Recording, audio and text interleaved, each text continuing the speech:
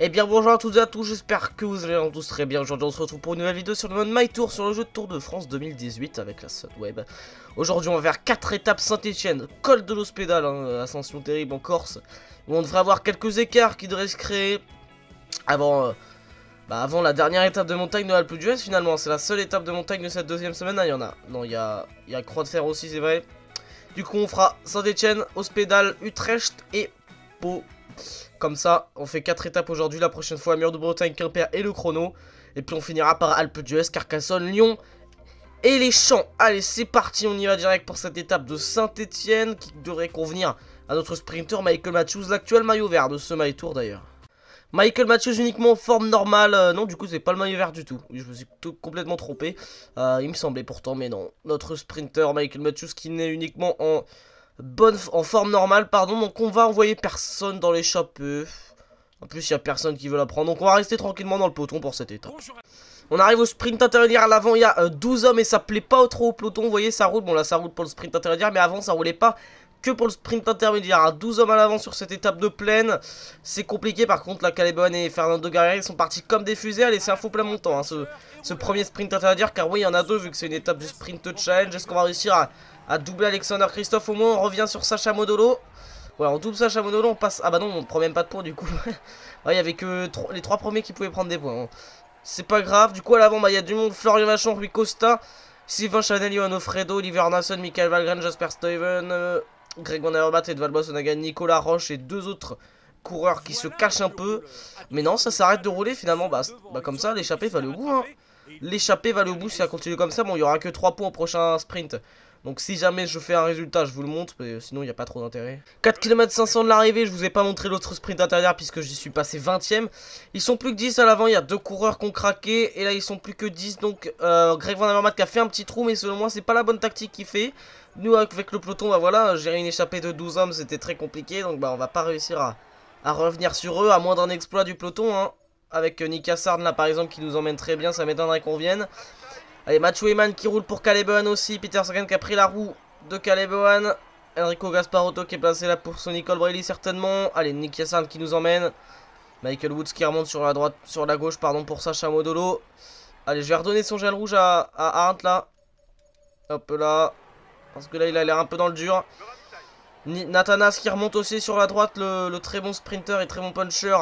Euh, J'ai pas envie de dire de bêtises. Allemand, non, je sais pas. Euh, australien, il me semble. Australien. Allez, c'est parti. C'est parti. Avec Michael Matthews. Oh non, oh non, oh non, non, non, non, non. C'est pas vrai. On va faire, on va tenter de revenir quand même, mais putain, c'est fait. Oh non, putain, vas-y, ça me saoule. Allez, on fait 21ème. Heureusement que l'échappée est allée au bout. Hein. Sinon, euh, sinon j'aurais été dégoûté. Van Avermaet, évidemment, voilà, c'était pas la bonne tactique c'est fait reprendre. Et c'est Oliver Nelson qui s'impose à Saint-Etienne devant Jasper Stuyven, Florent Vachon, Rui Costa, Johan Ofredo Sylvain Chavanel, Seven Cummings, Michael Valgren et Nathan et euh, Nicolas Roche, pardon. Fernando Gaviria qui règle le sprint du peloton et le maillot vert qui ne prend euh, aucun point. Il est encore pire que moi. Moi, je me suis bien fait gêner. Évidemment, c'est pas du tout la bonne idée de se faire protéger par Arndt là-dedans. Euh, genre, il me fait de, sprinter moi-même. Voilà, nos coureurs ils finissent bien au fond du peloton, mais comme ça, ils ont pas fait trop d'efforts pendant le sprint. Et le dernier du groupe, c'est Matthew Heyman. Et un groupe qui finit à 1,48, mais pas de, pas de favoris qui ont été pris. Il y a d'ailleurs les Seb Van Mark, Pascal Ackermann et Simone Consoni. Allez, Tom Dumoulin du coup, qui est toujours en jaune. Avant l'étape du col de l'hospédal, O'Connor toujours avec les maillots à poids. Va falloir renvoyer Kelderman d'ailleurs sur cette étape de l'hospédal, je pense. Mais il est dixième, est-ce que ça peut laisser partir Parce qu'il est quand même assez loin en général?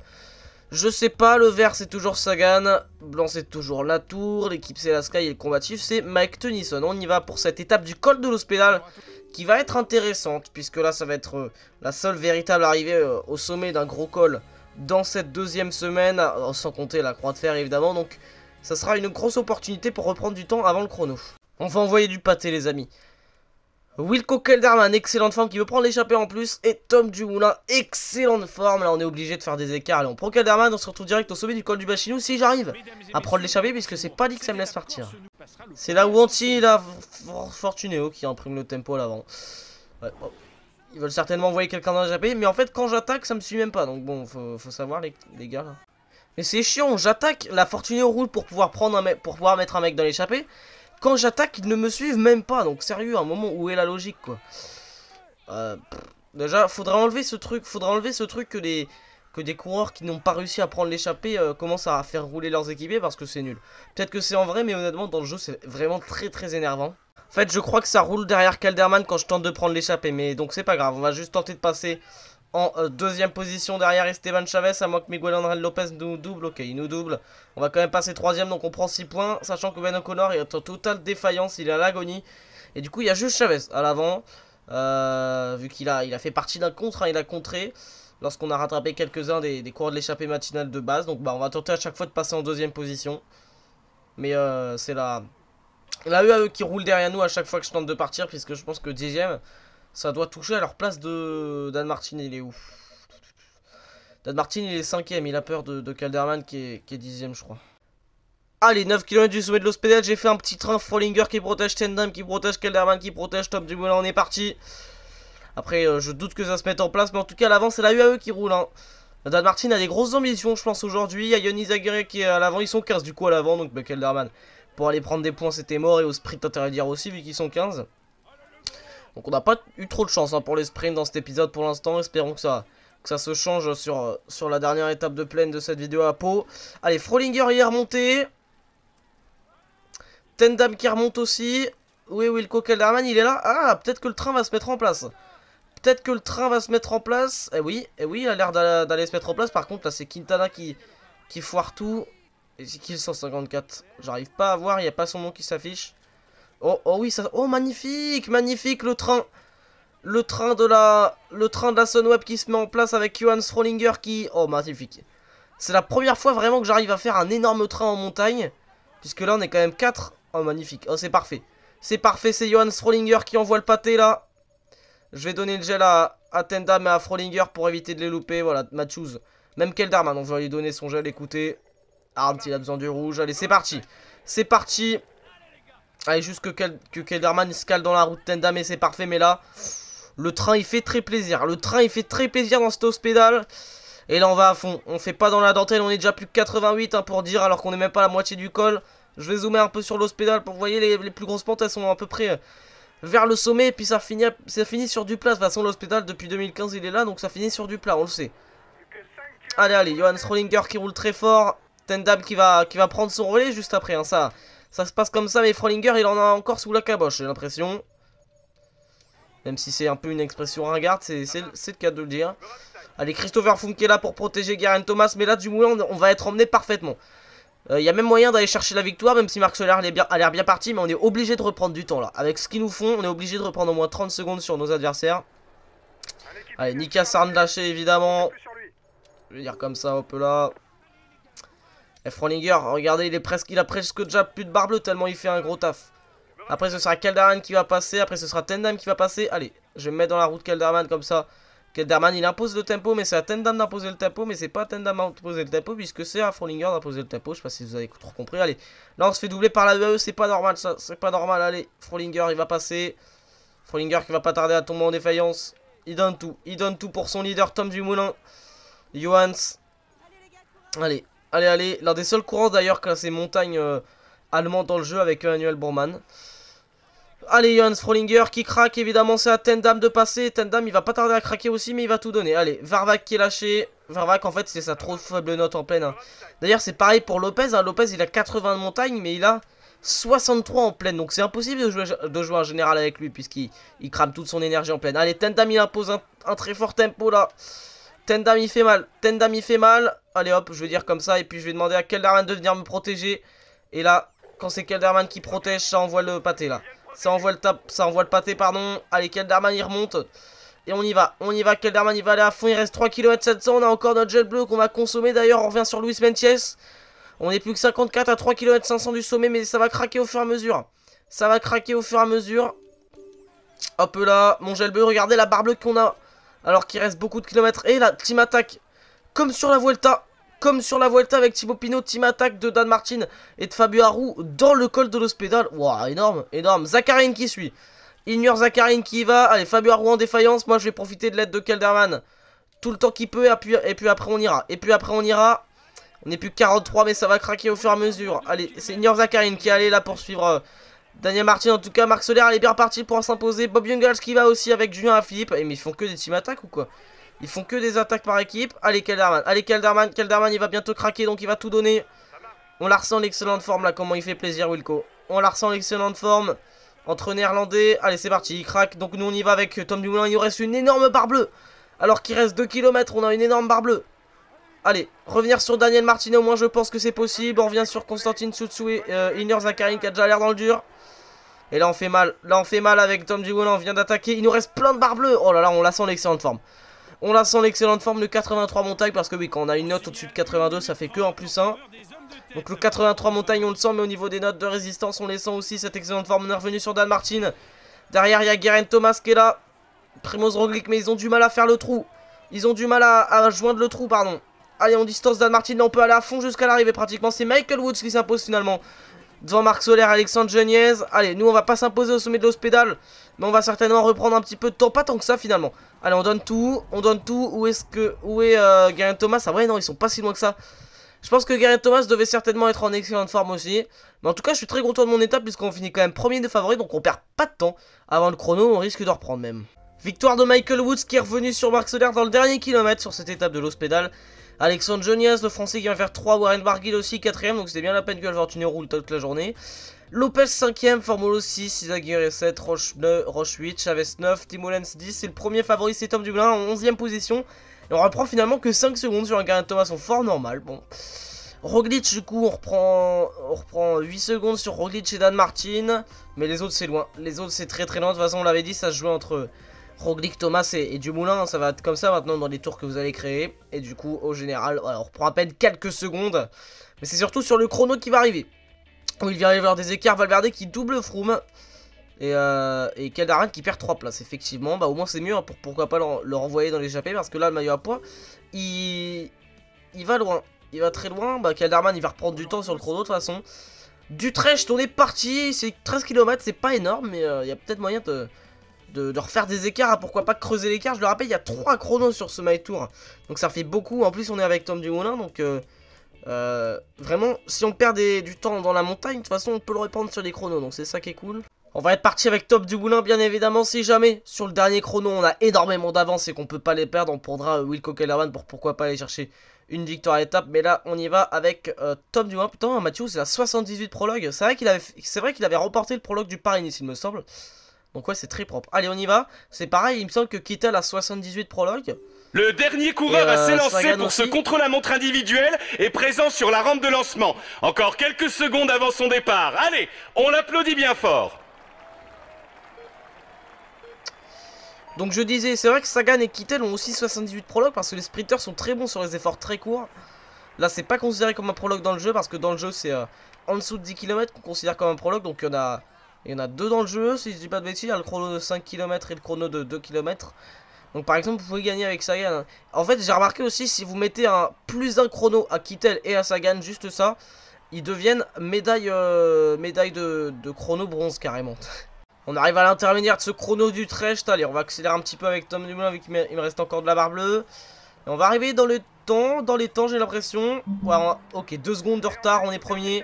Devant Jos Volenden et Vasil Karinka, donc c'est plutôt pas mal pour l'instant.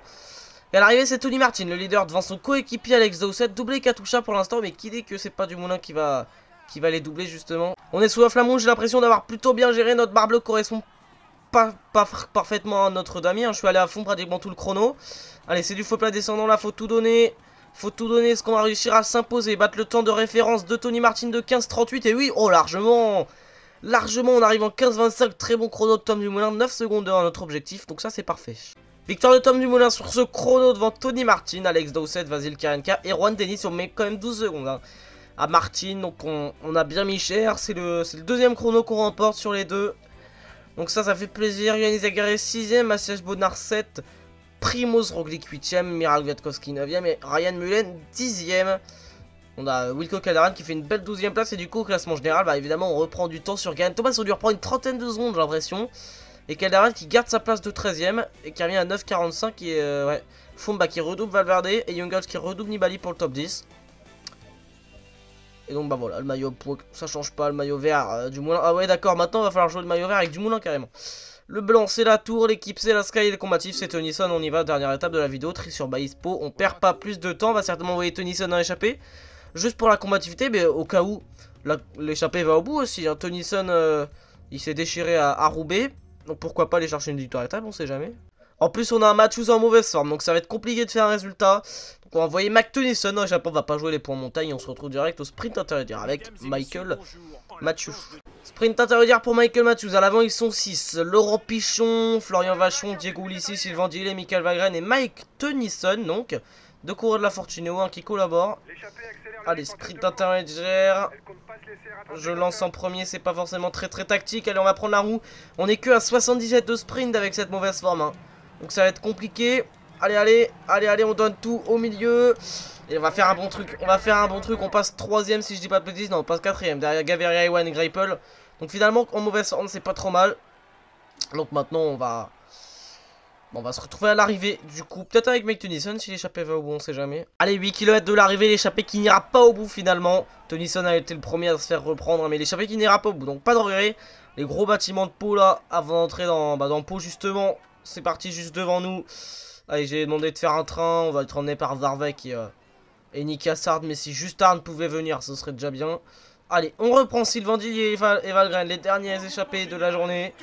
On a Damiette qui est très loin, Sam Bennett aussi. Mais bon, Sam Bennett, euh, il est classé favori. Mais il a quand même Peter Sagan dans son équipe. Allez, Arndt est là.